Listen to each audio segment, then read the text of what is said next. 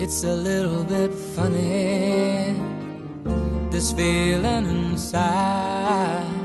I'm not one of those who can easily hide. I don't have much money, but boy, if I did, I'd buy a big house where we both could live. If I was a sculptor, but then again, no, or a man who makes potions in a traveling show. I know it's not much, but it's the best I can do.